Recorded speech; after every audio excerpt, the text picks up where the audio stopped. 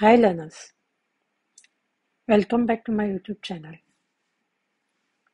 So today we'll see the part 5 of the same topic, but we'll continue with the innings 9.3. We already done six questions before, and you can have a look at the previous video. So now we'll start with question number 7 of innings 9.3. So here they said the cost price of 9 articles is equal to the selling price of 11 articles and you have to find the loss percentage.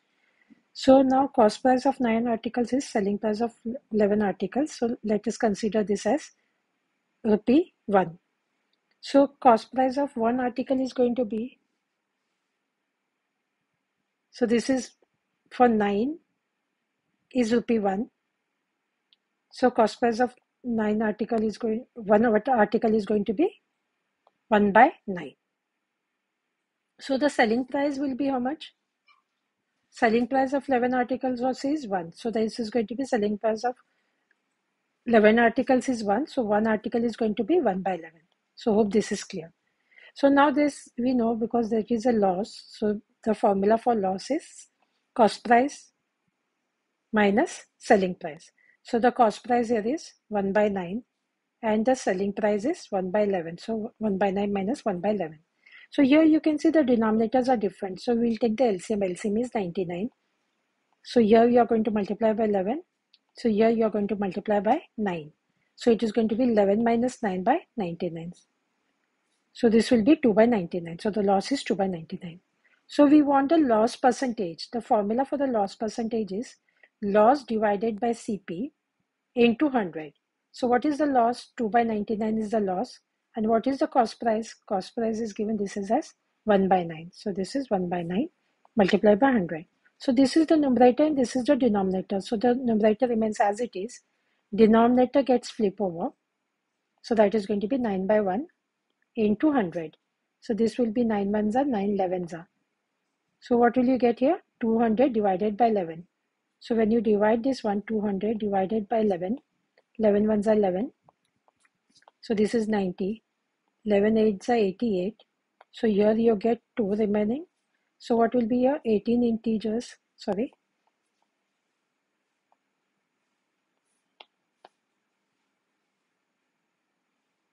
So once again I'll do it. 200 divided by 11. So 11 ones are 11. 90. 11 eights are 88. So this is going to be 2. So that is going to be 18 integers 2 by 11. So that is 18 integers 2 by 11 percentage. So this is the answer. Now here they said 4% more is gained by selling a foot mat for rupees 180 than by selling it for rupees 175. And you have to find the cost price of the mat. So let us consider the cost price of mat be X. So when selling price is 180, then what we can see gain it will be selling price minus cost price. So selling price is 180 and the cost price is x. So gain is going to be 180 minus x. So gain percentage, the formula is gain divided by CP into 100. So gain is what? 180 minus x. And the cost price we have considered as x multiplied by 100. So now what did they say here? Then this is the first part is over. Then by selling it for rupees 175. So what we can write additional percentage gain that is what? 180 minus x divided by x into 100 and here what did we get? 175 so it will be the same one. It will be here in place of this is going to be 175 minus x divided by x into 100 hope this step is clear to you. So now what will you get here? Gain percentage is given here as 4 percentage. So in below this you will write here 4 so now here what you can see here 180 minus x. So here what we can see this is from here both this one we can see 1 by x is common and as well as the 100 is common. So we can write here 1 100 divided by x we can take common over here. So the, this is one term this is one term the other term. So from this one this also is 100 by x and this also is 100 by x that we can take common ones and what remains is in the bracket this will be 180 minus x and now see here whenever this minus is there and these are the two terms So it should be like this 175 minus x because there are two terms here. So this will be one minus 175 plus x. So be careful with this side. So this minus is outside and there are two terms here. So this changes the sign. This is going to be plus x. So this step is important. So now what will you get here? And this is the common one, 100 by x. So now you will take this x on this side because this is multiplication. So that is going to be 4x minus x plus x, x gets cancelled. 180 minus 175 that is going to be 5 and this is multiplied by 100. So 4x is going to be 500. So x is going to be 500 divided by 4. So that is going to be, when you divide it, you get 125. So x is rupees 125. So what we have considered x, that is the cost price and that is what they have asked. So we can say cost price of foot mat is rupees 125. Now here the shopkeeper purchased 60 kg of tea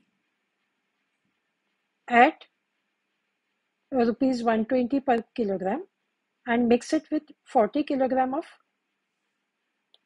so actually this is tea.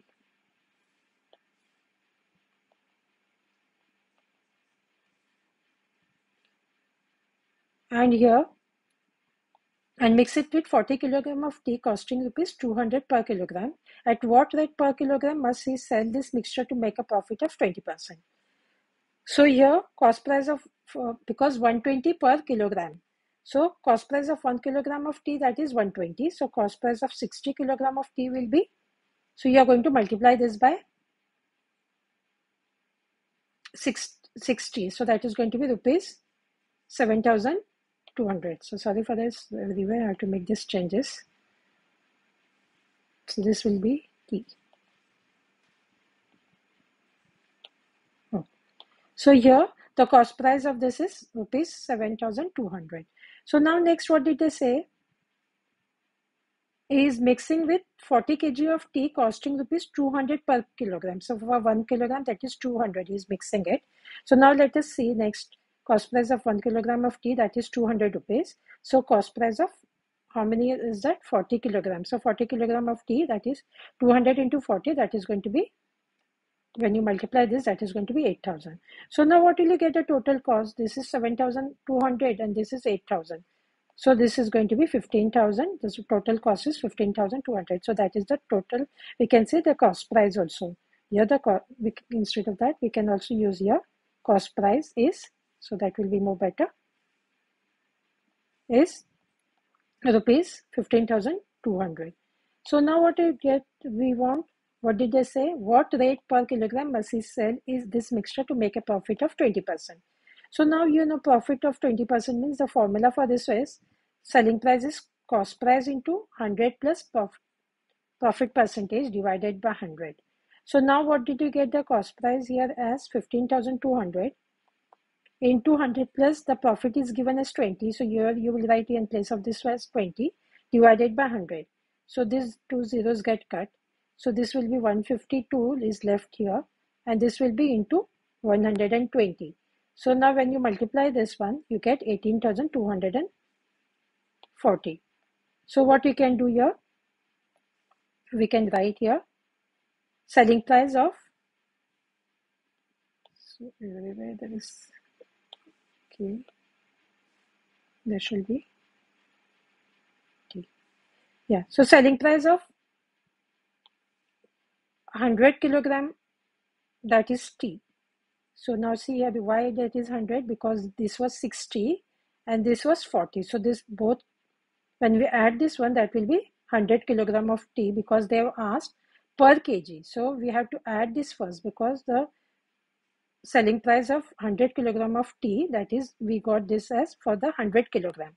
So we will write here selling price of 1 kilogram tea that is going to be 18240 and this divided by 100 so this and this gets cut off so that will be because when we are dividing it by 10 so that will be 182.4 that will be rupees so that is what they have asked so a man sells two tables for rupees 12,480 each. On one, he gains 20%, and on the other, he loses 20%. So how much does he gain or lose in the whole transaction? So now first thing, there are two tables means we can just write selling price of first table that is 12,400. On one he gains 20%. So he is gaining 20% on the first table. So what will be the cost price? Cost price is the this formula you have to remember that is selling price into 100 divided by 100 plus profit percentage or gain we can write because your gain and the profit is the same. So now what is the selling price? 12,400 into 100. 100 plus this is per, profit percentage is 20. So you'll write here 20. So this is 12,400 into 100 divided by 120. This and this 0 gets cut. When you divide this by 12, we get 1040. And this is 10 over here. So that is going to be 10,400. So now let us see, this was for the first table. Now selling price of the second table. The both the price is the same, 12,400. This also was 12,400 because they said both the tables is the selling price is the same. But here what happens here? And on the other he loses 20%. So the loss is 20%. So now what will you do here? Both the formulas are same in place of this one that will be minus loss percentage. Rest all this is going to be the same. So now selling price into 100 divided by 100 minus loss percentage. So this selling price is 12,480 into 100 divided by 100 minus this loss is 20. So this is the same. This is the same. This is going to be 80. So when you uh, divide this one, you get 1560 and this one zero from here. So that is going to be 15,600. So now what you can see here, in this one, the cost price was 10,400 and here the selling price was